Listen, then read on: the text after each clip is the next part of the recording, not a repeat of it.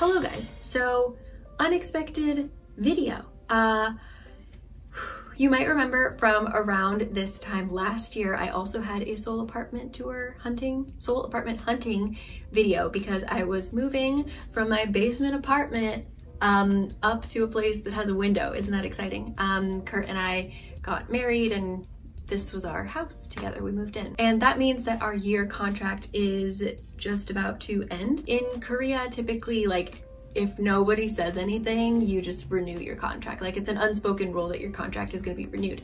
But about a month and a half ago, our landlady, who we love, she's very reasonable, she's really nice. Um, she contacted Kurt and was like, hey, let's talk about that contract.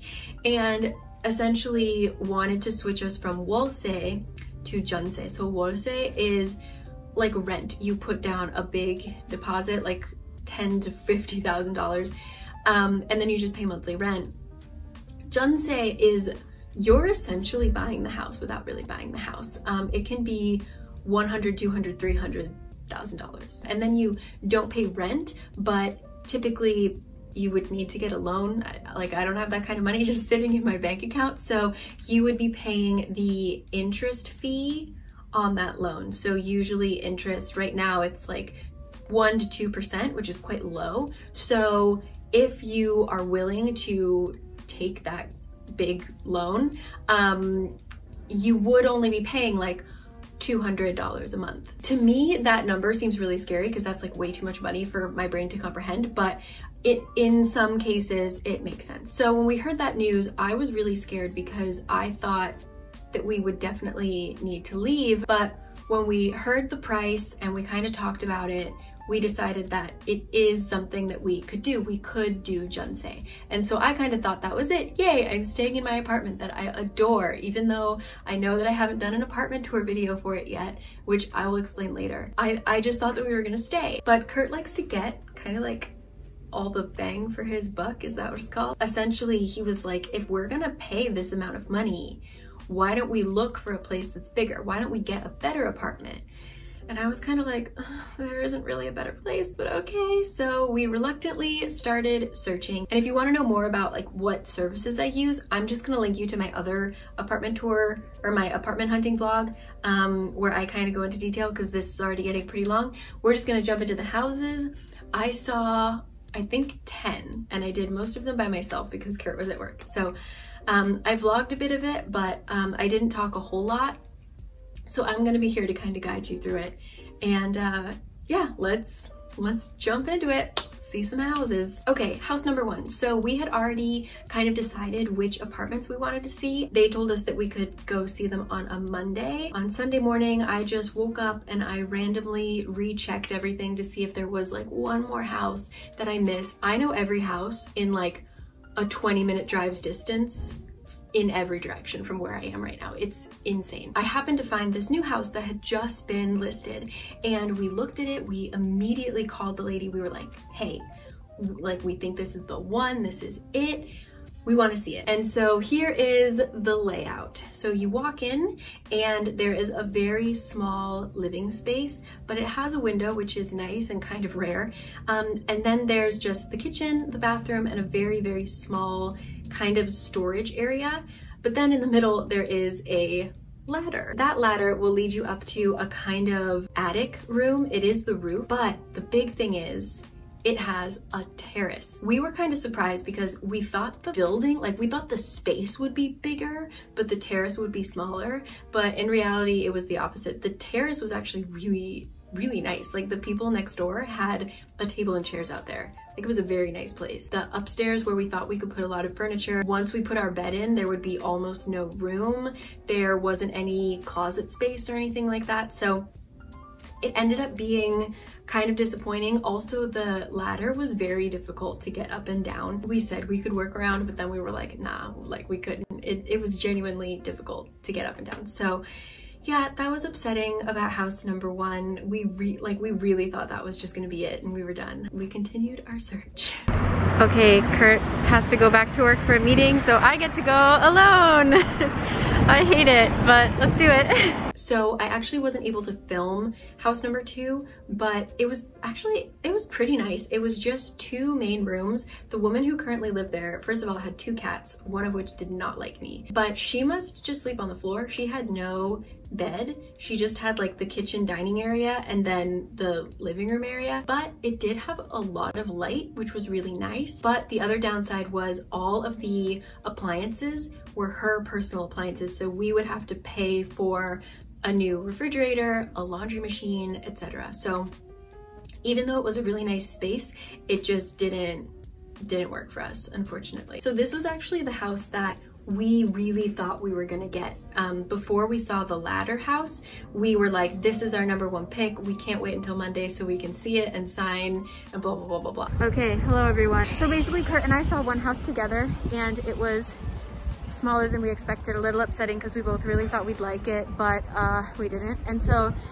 he has to go to work and today I'm free, so I'm doing these all by myself which is kind of nerve wracking, but it's okay because you don't have to say much. You just have to look around and be like, oh, 감사합니다. So yeah, I'm going to go see another place, which is a little bit further than we wanted, but it is, it looks to be like a very cool, like what we're looking for. So yeah, hopefully, I don't know, hopefully this one works out, but I did also find two other places. I've just, I'm so sick of looking at real estate sites. I've just, I've been on them for like three days straight. So anyway, let's go. Hopefully this one is nice and fits our needs and makes up for the fact that it's a little bit far. So from Kurt's work is our main focus is Kurt likes to walk to work and he can't from here. But anyway, it's windy, let's go. Unfortunately, when I walked in, it actually was really old and weird. Like the pictures looked really nice, but the wallpaper was kind of peeling. The floor is supposed to be this white marble and it was actually like the grout was really dirty. Some of the tiles were cracked. Um, the bed was permanent, like built in, and it looked really not comfortable so we were like what like what the heck overall unfortunately like it sucks because that was literally our number one and it was just there was no saving it very sad but that little reading nook oh my god that's like all i want in my life is a little like bench by the window. Um so yeah it's a bummer but house number three out. But the realtor was really cool and he was like listen i've got a couple other places on my list let's go see him. So, so we hopped in his car and we went to a building that I had seen a few listings for, um, but they actually didn't make it to my list because I thought that they'd be quite small inside. The first house that we went in is one that I knew. You walk in and to your right, there is a bathroom. To your left, there is uh, another small room, which actually wasn't too small. Um, and then there's this little tiny kitchen area. But when you go up the stairs, there is an attic. And I was kind of thinking it'd be really small. The realtor went up the stairs before me and he literally was like, oh my God. So I ran up there and it is huge. It's a really big space. I wish that there were windows but unfortunately it was just like skylights, which I understand it's an attic. It also had another bathroom, which was really interesting. Um, basically, it was just a ton of space, but because there were no windows, there was literally no way to get any furniture up there. If it didn't fit through the little hole where the stairs were, there was just no way to deal with it, which is unfortunate. So, and the first floor was also quite a bit cramped. Like there wouldn't be a place for anything, like even just our desk, which is like our prized possession, um, there's absolutely no room for it. So yeah, just didn't work out. Then we went next door and he actually had never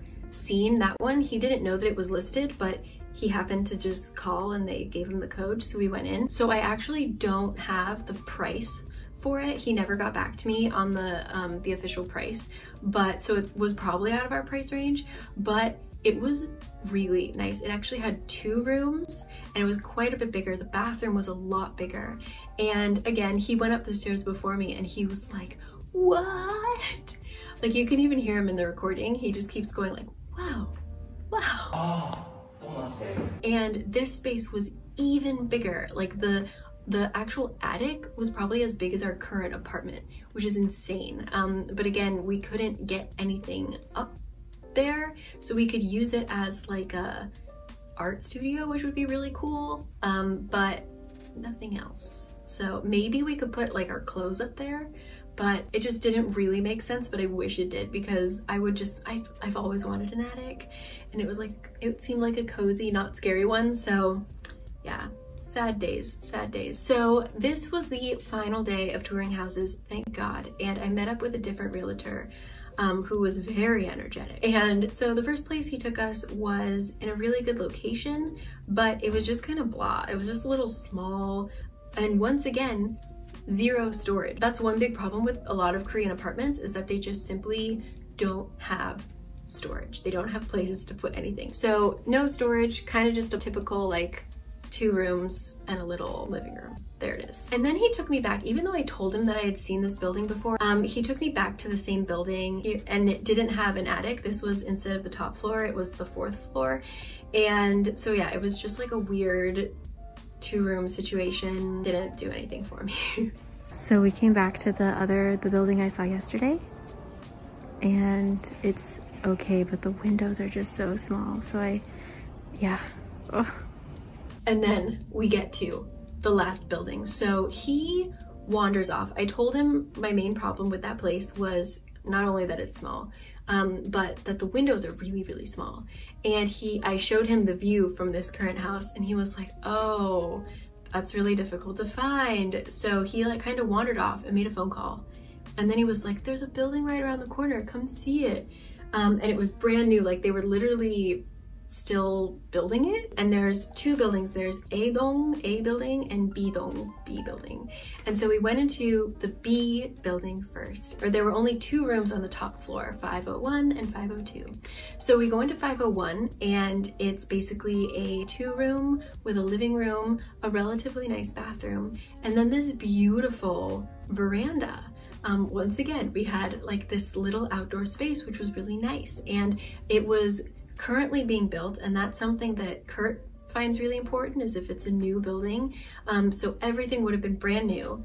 Um, and it was, uh, it just, I got a good feeling about it. And there were lots of windows. So then we go into 502, which I found to be even better. The direction that it faced, um, the directions that there were more windows, the bathroom was bigger. Um, I just, I thought that was the one. I was like, man, I like it. Like it's got everything that I need, basically windows. Um, and then it's got everything that Kurt finds really important too. So this is great, we want it, but hey, let's look at the other buildings just in case. So this is where it kind of becomes a blur and we just start seeing a ton of buildings. The first floor had a backyard. Like I would have never taken it because all the other rooms, the windows were like facing concrete, so it was very dark, but you literally had a backyard. And then he started to show me the other ones on the fifth floor in the A building. They didn't have a veranda. They only had like a tiny, I mean, they still called it a veranda, but just a tiny space where you could put your plants outside of a window. And they were okay, but they weren't perfect. But I really kind of clung on to that 502 in building B. And so the realtor was like, listen, things are already getting taken. We really want to put down a deposit today um, let's do this right now. I called Kurt and Kurt was like, well, obviously like, I want to see it. I was like, yeah, I, like, I don't want to put down a deposit right now. It was very stressful. He was very, very pushy. And um, so Kurt came and looked at it and I will, you know, I'll let myself, my past self take it away. So we just found a house that I, well, I found a house that I think we both really like. And I called Kurt to come over here to come see it because he was like, you gotta sign now, you gotta sign now. And um, as as I'm talking to Kurt, he suddenly is like, oh, by the way, like your first and second choice ones aren't available. So that's kind of annoying, but I do like the other side of the house. I don't know, we'll see, but that was just kind of a bummer because I really thought we found the perfect place and then he's like, yeah, you can get it, you're the first one to see it. And then he's like, JK, it's gone. So anyway, Kurt's on his way, we'll see but it's a brand new building. Don't even know if we can go back in, but. So yeah, that was kind of a bummer. That was, it was just very strange. And then we actually just ended up saying okay to one of them, um, to like my number three choice, I guess. And um, we did everything, like we transferred, it wasn't the deposit, but it was like a holding fee, which is like minis like minuscule compared to what a deposit would be. Kurt decided to work from home for the rest of the day and we were sitting together and I was just, I suddenly felt so much buyer's remorse. And at first I thought it was because last time I was moving from a basement to a beautiful apartment. And now I'm moving from a beautiful apartment to a okay apartment, right? Um, and so I thought like, oh, it's, you know, I'm just, I don't have that high just because I'm not having such a large step up. Um, but the more that I thought about it, the more kind of panicked I got because there really isn't any storage.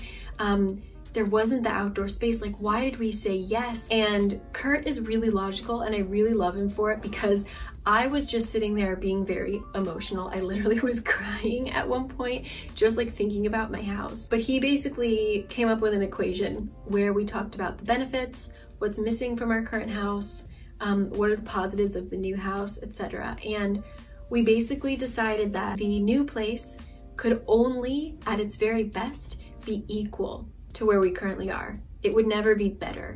And if it's not better, why are we moving? We would need to buy closets. We would need to like pay for moving stuff.